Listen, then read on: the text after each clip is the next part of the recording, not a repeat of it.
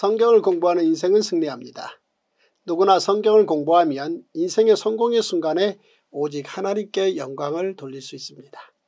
누구나 성경을 공부하면 인생의 실패의 순간에도 하나님의 긍휼로 새롭게 시작할 수 있습니다. 여기 여러분의 성경을 쉽고 재미있는 이야기로 도울 수 있는 큰 글자 통독 성경이 있습니다. 역사순 1년 1독으로 출간된 세계 유일한 통독 성경입니다. 오늘도 역사순 큰 글자 통독 성경으로 시작하겠습니다. 오늘의 굿뉴스 미가 4장에서 7장의 통습 5가지 포인트를 먼저 읽어드리겠습니다. 첫 번째 포인트 미가 선지자는 메시아의 나라에서 펼쳐질 놀라운 계획을 선포합니다. 하나님께서 말씀하신 메시아의 나라입니다. 첫째, 정해진 그날 마지막 날에 이루어지는 나라입니다. 둘째, 모든 민족이 나아오는 나라입니다.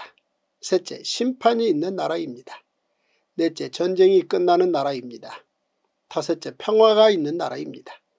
하나님께서는 미가 선지자를 통해 메시아의 나라를 소망하는 남은 자들에게 인내를 권면하십니다.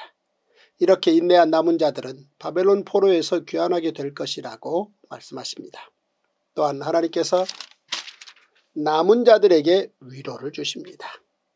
두 번째 포인트 미가 선지자의 기록을 통해 이후 동방 박사들이 예수님의 탄생 장소를 알게 됩니다.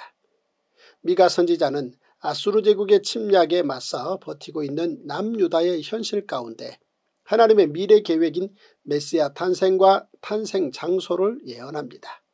베들렘이라는 작은 마을에서 이스라엘을 다스릴 자가 나올 것이라는 말씀은 남유다 백성들을 위로하기에 충분했을 것입니다. 미가 선지자의 이 기록을 통해 이후에 예수님의 탄생 장소를 알게 됩니다.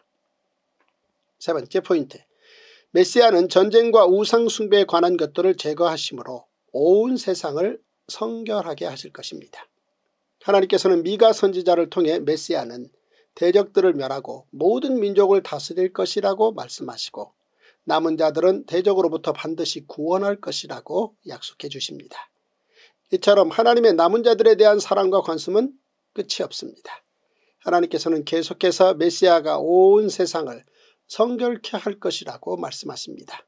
메시아가 세상을 성결케 한다는 것은 전쟁에 관한 것들과 우상 숭배에 관한 것들을 제거하신다는 것입니다. 하나님께서는 메시아가 도래하는 그날에 모든 것이 회파될 것이라고 선언하십니다. 네 번째 포인트 미가 선지자는 남유다 백성들의 불의를 구체적으로 지적합니다. 미가에서 전하는 세계 메시지 가운데 마지막 메시지가 전해집니다. 메시지의 시작은 마치 재판정에서 백성들을 고발하는 형식과 같습니다. 이 재판에서 하나님께서는 직접 변론하는 원고시고 남유다 백성들은 피고입니다. 그리고 증인은 산과 땅입니다. 먼저 하나님께서는 하나님의 공의로우심을 출애굽 역사와 발락과 발람의 일을 증거로 말씀하십니다. 그러면서 남유다 백성들이 회개하지 않고 형식적인 예배를 드렸음을 질책하십니다. 하나님께서는 이사야 선지자를 통해서도 악하고 헛된 제사를 드리는 자들에 대해 통탄하며 말씀하셨습니다. 하나님을 오해하고 있는 남유다 백성들을 향해 하나님께서 출애굽 때부터 지금까지 그들을 구원하기 위해 행한 모든 일을 말씀하십니다. 하나님께서 진정 바라시는 것은 남유다 백성들이 하나님과 이웃과의 관계에서 겸손하고 바르게 살아가는 것입니다. 형식적인 제사가 중요한 것이 아니라 삶 속에서 하나님의 공의와 이웃사랑을 드러내는 것이 중요한 것입니다. 남유다 백성들의 불의는 갈수록 심해졌고 하나님께서는 남유다 백성들의 죄에 대해 심판을 선언하십니다. 다섯 번째 포인트 미가 선지자는 주와 같은 신이 어디 있으리까 라며 하나님을 찬양합니다. 하나님께서는 미가 선지자를 통해 남유다 백성들의 부패를 한탄하십니다. 하나님의 한탄이 계속 이어지자 미가 선지자가 남유다 백성들을 대신하여 하나님 앞에 회개합니다. 내가 여호와께 범죄하였으니 그의 진노를 당하려니와 마침내 주께서 나를 위하여 논쟁하시고 심판하시며 주께서 나를 인도하사 광명에 이르게 하시리니 내가 그의 공의를 보리로다. 하나님께서는 미가 선지자의 회개를 들으시고 남유다가 징계를 받은 후에는 회복될 것이라고 말씀하십니다. 미가 선지자는 계속해서 목자 대신 하나님께 주의 백성들을 지켜주시기를 중보기도 합니다. 그리고 주와 같은 신이 어디 있으리까 라며 하나님께 찬양을 올려드립니다. 모든 성경은 유익합니다. 세상 예화나 성경 요절주의, 권별주의는 끝내 성경을 어렵게 합니다. 모든 성경을 모든 가정에서 다섯 살부터 통성경 스토리로 듣게 되면 성경은 곧 쉽고 재미있는 책이 될 것입니다. 모든 성경 이야기에는 첫째 하나님의 법, 둘째 하나님의 긍휼, 셋째 하나님의 기적이 들어있습니다.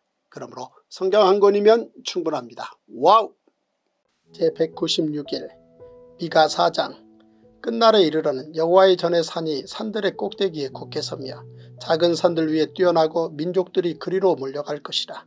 곧 많은 이방 사람들이 가며 이르기를 오라 우리가 여호와의 산에 올라가서 야곱의 하나님의 전에 이르자. 그가 그의 도를 가지고 우리에게 가르치실 것이니라. 우리가 그의 길로 행하리라 하리니 이는 율법이 시온에서부터 나올 것이요 여호와의 말씀이 예루살렘에서부터 나올 것입니다. 그가 많은 민족들 사이에 이를 심판하시며 먼 곳 강한 이방 사람을 판결하시리니 우리가 그 칼을 쳐서 보습을 만들고 창을 쳐서 낫을 만들 것이며 이 나라와 저 나라가 다시는 칼을 들고 서로 치지 아니하며 다시는 전쟁을 연습하지 아니하고 각 사람이 자기 포도나무 아래와 자기 무화과나무 아래에 앉을 것이라. 그들을 두렵게 할 자가 없으리니 이는 만군의 여호와의 입이 이같이 말씀하셨습니다. 만민이 각각 자기의 신의 이름을 의지하여 행하되 오직 우리는 우리 하나님 여호와의 이름을 의지하여 영원히 행하리로다. 여호와께서 말씀하시되 그날에는 내가 저는 자를 모으며 쫓겨난 자와 내가 환란받게 한 자를 모아 발을 저는 자는 남은 백성이 되게 하며 멀리 쫓겨났던 자들이 강한 나라가 되게 하고 나 여호와가 시온산에서 이제부터 영원까지 그들을 다스리리라 하셨나니 너 양떼의 망대요 딸 시온의 산이여 이전 걷는 곧딸 예루살렘의 나라가 내게로 돌아오리라. 이제 내가 어찌하여 부르짖느냐 너희 중에 왕이 없어졌고 내 모사가 죽었으므로 내가 해산하는 여인처럼 고통함이냐 딸 시온이여 해산하는 여인처럼 힘들여 나을지어다. 이제 내가 성읍에서 나가서 들에 거주하며 또 바벨론까지 이르러 거기서 구원을 얻으리니 여호와께서 거기서 너를 내 원수들의 손에서 속량하여 내시리라. 이제 많은 이방 사람들이 모여서 너를 치며 이르기를 시온이 더럽게 되며 그것을 우리 눈으로 바라보기를 원하노라 하거니와 그들의 여호와의 뜻을 알지 못하며 그의 계획을 깨닫지 못한 것이라. 여호와께서 곡식단을 타작마당에 모음같이 그들을 모으셨나니 딸 시온이여 일어나서 칠지어다. 내가 내 뿔을 무쇠 같게 하며 내 굽을 녹 같게 하리니 내가 여러 백성을 쳐서 깨뜨릴 것이라. 내가 그들의 탈취물을 구별하여 여호와께 드리며 그들의 재물을 온 땅에 죽게 돌리리라.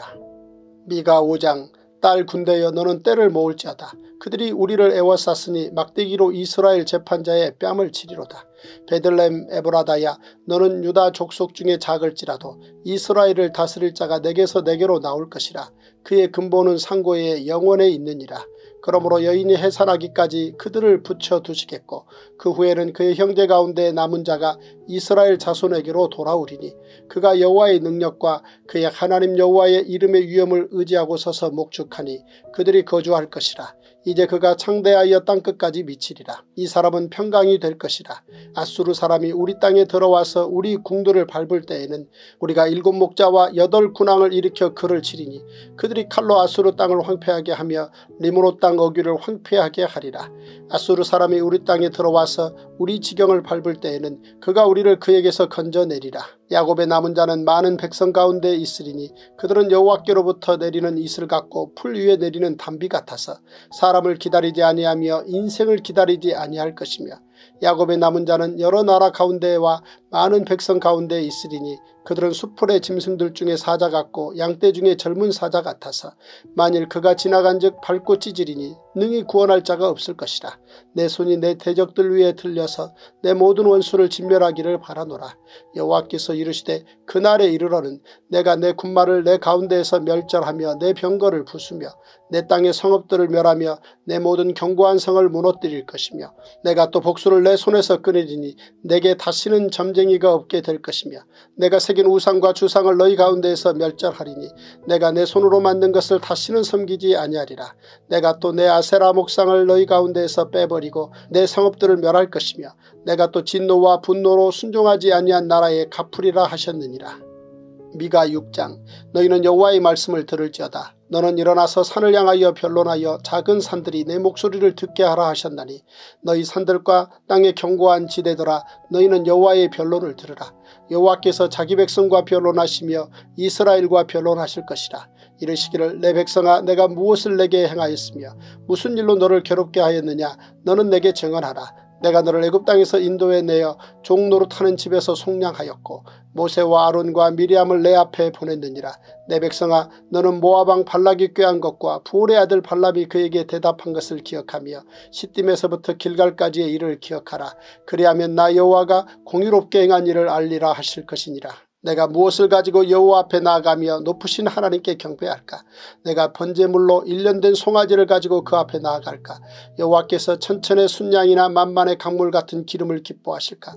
내 허물을 위하여 내 마다들을 내 영혼의 죄로 말미암아 내 몸에 열매를 드릴까? 사람아 주께서 선한 것이 무엇임을 내게 보이셨나니 여호와께서 내게 구하시는 것은 오직 정의를 행하며 인자를 사랑하며 겸손하게 내 하나님과 함께 행하는 것이 아니냐.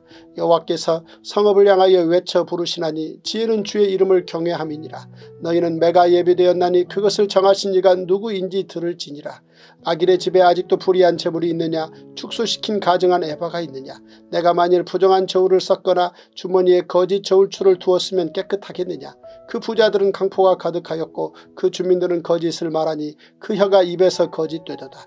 그러므로 나도 너를 쳐서 병들게 하였으며 내 죄로 말미암아 너를 황폐하게 하였나니 내가 먹어도 배부르지 못하고 항상 속이 빌 것이며 내가 감초도 보존되지 못하겠고 보존된 것은 내가 칼에 붙일 것이며 내가 씨를 뿌려도 추수하지 못할 것이며 감남 열매를 밟아도 기름을 내 몸에 바르지 못할 것이며 포도를 밟아도 술을 마시지 못하리라. 너희가 오므리의 율례와 아합집의 모든 예법을 지키고 그들의 전통을 따르니 내가 너희를 황폐하게 하며 그의 주민을 사람의 조속거리로 만들리라. 너희가 내 백성의 수욕을 담당하리라. 미가 7장 재앙이로다 나여 나는 여름 과일을 딴 후와 포도를 거둔 후 같아서 먹을 포도송이가 없으며 내 마음에 사모하는 처음 익은 무화과가 없도다. 경건한 자가 세상에서 끊어졌고 정직한 자가 사람들 가운데 없도다. 무리가 다 피를 흘리려고 매복하며 각기 그물로 형제를 잡으려 하고 두 손으로 악을 부지런히 행하는도다. 그 지도자와 재판관은 뇌물을 구하며 권세자는 자기 마음의 욕심을 말하며 그들이 서로 결합하니 그들의 가장 선한 자라도 가시 같고 가장 정직한 자라도 찔레 울타리보다 더하도다. 그들의 파수꾼들의 날 곧 그들 가운데 형벌의 날이 임하였으니 이제는 그들이 요란하리로다. 너희는 이웃을 믿지 말며 친구를 의지하지 말며 내 품에 누운 여인에게라도 내 입의 문을 지킬지어다. 아들이 아버지를 멸시하며 딸이 어머니를 대적하며 며느리가 시어머니를 대적하리니 사람의 원수가 곧 자기의 집안 사람이리로다. 오직 나는 여호와를 우러러보며 나를 구원하시는 하나님을 바라보나니 나의 하나님이 나에게 귀를 기울이시리로다. 나의 대적이여 나로 말미암아 기뻐하지 말지어다. 나는 엎드러질지라도 일어날 것이요 어두운 데 앉을지라도 여호와께서 나의 빛이 되실 것이미로다. 내가 여호와께 범죄하였으니 그의 진노를 당하려니와 마침내 주께서 나를 위하여 논쟁하시고 심판 하시며 주께서 나를 인도하사 광명에 이르게 하시리니 내가 그의 공의를 보리로다. 나의 대적이 이것을 보고 부끄러워하리니 그는 전에 내게 말하기를 내 하나님 여호와가 어디 있느냐 하던 자라. 그가 거리에 진흙같이 밟히리니 그것을 내가 보리로다. 내 성벽을 건축하는 날 곧 그날에는 지경이 넓혀질 것이라. 그날에는 아수르에서 애굽 성읍들에까지 애굽에서 강까지 이 바다에서 저 바다까지 이 산에서 저 산까지의 사람들이 내게로 돌아올 것이나 그 땅은 그 주민의 행위의 열매로 말미암아 황폐하리로다. 원하건대 주는 주의 지팡이로 주의 백성 곧 갈멜 속 살림에 홀로 거주하는 주의 기업의 양떼를 먹이시되 그들을 옛날같이 바산과 길라드에서 먹이시옵소서. 이르시되 내가 애굽 땅에서 나오던 날과 같이 내가 그들에게 이적을 보이리라 하셨느니라. 이르되 여러 나라가 보고 자기의 세력을 부끄러워하여 손으로 그 입을 막을 것이요 귀는 막힐 것이며 그들이 뱀처럼 티끌을 핥으며 땅에 기는 벌레처럼 떨며 그 좁은 구멍에서 나와서 두려워하며 우리 하나님 여호와 께로 돌아와서 주로 말미암아 두려워하리이다. 주와 같은 신이 어디 있으리까 주께서는 죄악과 그 기업에 남은 자의 허물을 사유하시며 인애를 기뻐하심으로 진노를 오래 품지 아니하시나이다. 다시 우리를 불쌍히 여기셔서 우리의 죄악을 발로 밟으시고 우리의 모든 죄를 깊은 바다에 던지시리이다. 주께서 옛적에 우리 조상들에게 맹세하신 대로 야곱에게 성실을 베푸시며 아브라함에게 인애를 더하시리이다.